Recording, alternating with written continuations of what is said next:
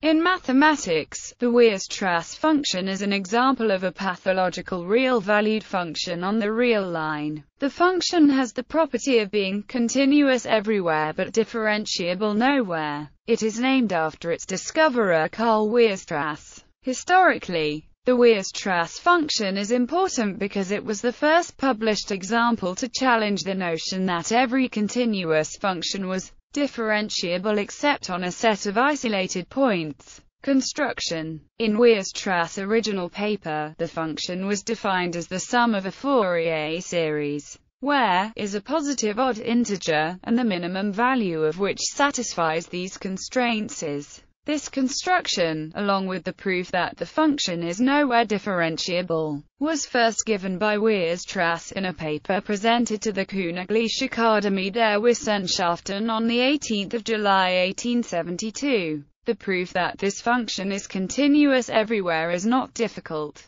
since the terms of the infinite series which defines it are bounded by plus or minus n and this has finite sum for 0 less than a less than 1. Convergence of the sum of the terms is uniform by the Weierstrass M test with Mn equals n. Since each partial sum is continuous and the uniform limit of continuous functions is continuous, it follows f is continuous. To prove that f is nowhere differentiable, we consider a point and show that the function is not differentiable at that point. To do this, we construct two sequences of points xn and xn which both converge to x, having the property that where lim sup and lim inf denote limit superior and limit inferior, respectively, of the sequence. Naively it might be expected that a continuous function must have a derivative, or that the set of points where it is not differentiable should be small, in some sense. According to Weierstrass in his paper, earlier mathematicians including Gauss had often assumed that this was true. This might be because it is difficult to draw or visualize a continuous function whose set of non-differentiable points is something other than a countable set of points. Analogous results for better behaved classes of continuous functions do exist, for example the Lipschitz functions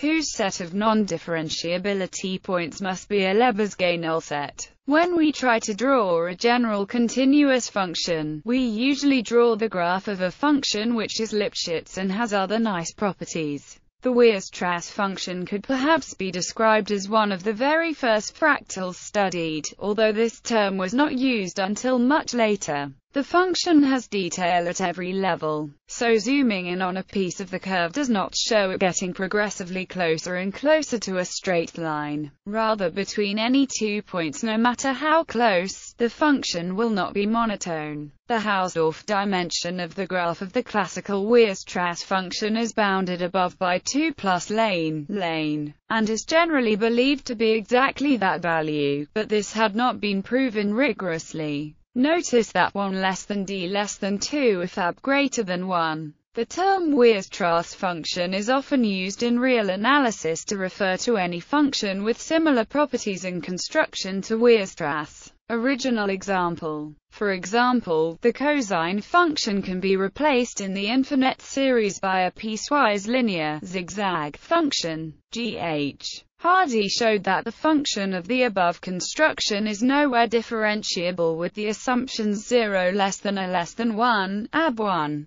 Holder continuity. It is convenient to write the Weierstrass function equivalently as for some 0 less than alpha less than 1. Then W alpha is Holder continuous of exponent alpha, which is to say that there is a constant c such that for all x and y. Moreover, W alpha is Holder continuous of all orders alpha less than 1 but not Lipschitz continuous density of nowhere differentiable functions. It turns out that the Weierstrass function is far from being an isolated example. Although it is pathological, it is also typical of continuous functions. In a topological sense, the set of nowhere differentiable real-valued functions on 0, 1 is comeagre in the vector space C of all continuous real-valued functions on 0, 1, with the topology of uniform convergence. In a measure-theoretic sense, When the space C is equipped with classical Wiener measure gamma, the collection of functions that are differentiable at even a single point of 0, 1, has gamma measure 0. The same is true even if one takes finite-dimensional slices of C. The nowhere differentiable functions form a prevalent subset of C.